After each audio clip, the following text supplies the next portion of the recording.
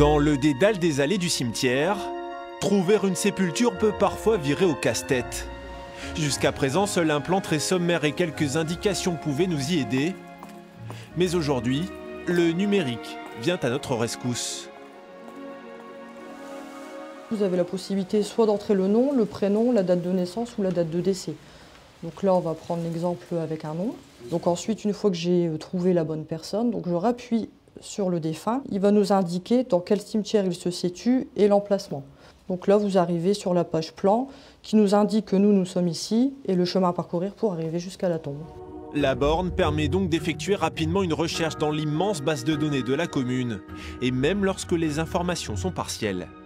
Les personnes, des fois, ont juste le nom, n'ont pas le prénom, ou inversement, ont juste le prénom, ou une date de naissance, ou une date de décès. Des données également accessibles depuis le site internet de la ville, un outil très vite adopté par les visiteurs du cimetière. C'est beaucoup plus facile pour nous parce qu'on ne trouve pas forcément le personnel qui est à l'intérieur pour pouvoir demander. Euh, dernièrement, justement, on cherchait un oncle à mon mari et en fait, on ne le trouvait pas. Donc, on aurait eu cette borne qui est très intéressante. Ça nous aurait permis justement de retrouver où, où est enterré son oncle.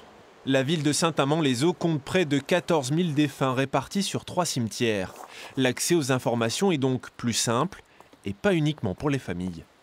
Il y a également les généalogistes qui viennent régulièrement pour, euh, à la recherche de concessions, les personnes qui font ça pour le plaisir, qui viennent dans les cimetières pour euh, visualiser les tombes, les marbriers également, les sociétés de pompes funèbres. L'an prochain, la ville compte déployer la borne dans l'ensemble de ses cimetières.